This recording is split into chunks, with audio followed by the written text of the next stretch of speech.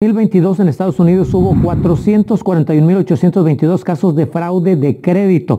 Este fue el tipo de robo de identidad más común del año pasado, esto de acuerdo a la organización Consumer Affairs, no cree que lo estamos diciendo nosotros. El grupo de personas con el mayor número de casos de robos de identidad son las personas de 30 a 39 años, pero sin importar su edad no hay que confiarse.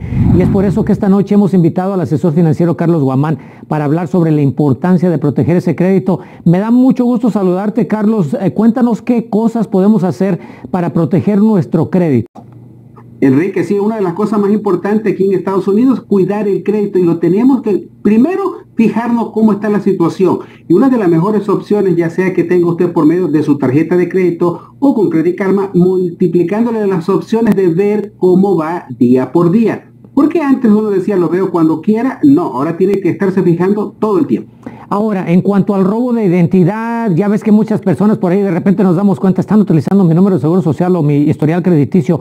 ¿Cómo podemos protegernos de eso, Carlos? Usted tiene que hacer cuatro cosas. La primera, comunicarse con el IRS y pedir un número de PIN. Es completamente gratis en el IRS.gov y entonces nadie más va a poder sacar ni récord ni hacer sus impuestos porque por ahí empiezan primero.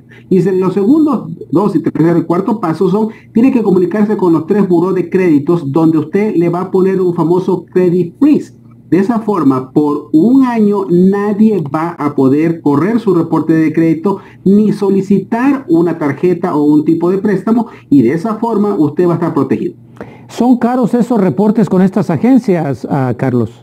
¿O son gratis? Sí, esos son gratis. Una de las cosas, si lo cometieron algún tipo de fraude, automáticamente el gobierno les exige de que sean gratis para que usted pueda protegerse.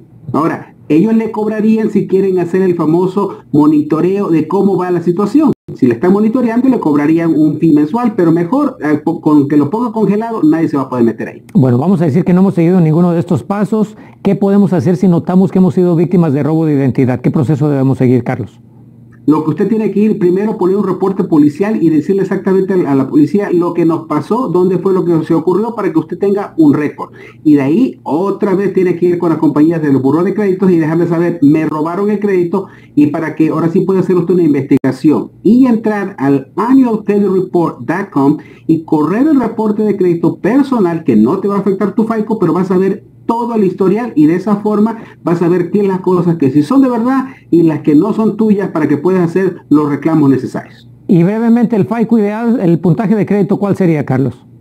El mejor es 850. Si estás arriba de 720, va a ser muy agradable. Pero los nuevos tipos de préstamos con 680 te van a dar un buen interés. Fabuloso. Gracias por estos consejos al asesor financiero Carlos Guamán. Un fuerte abrazo, Carlos. Nos veremos en la próxima. Muchísimas gracias, Enrique. Buenas noches.